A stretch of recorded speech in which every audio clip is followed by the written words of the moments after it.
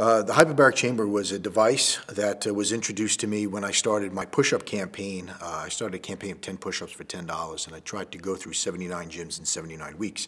And the reason for these seminars was to educate people of this deadly disease, but also to hopefully get some people to help us. And one person did stand up, and they asked me if I knew or had ever heard of the hyperbaric chamber, and I was ignorant to it. Um, I knew it was a device that was created to help burn victims, to help their skin cells rejuvenate a lot faster, but I didn't know to what extent does it help the human body, uh, as I do now. Uh, quickly, I found and sought out Dr. David Dornfeld, who is uh, world-renowned in his study, and um, my son was diagnosed in September of 2013 this was brought to my attention, believe it or not, by July of 2014.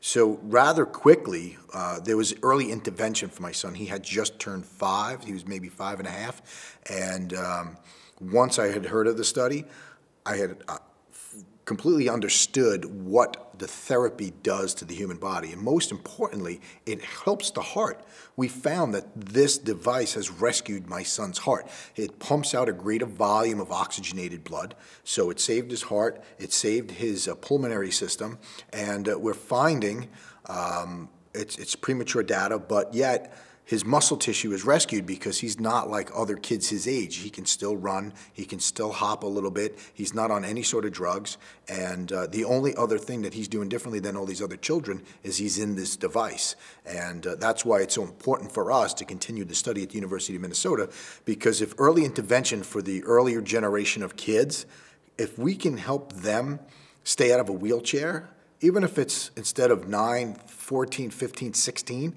that's a huge difference. We're making history. Other kids are in wheelchairs by eight.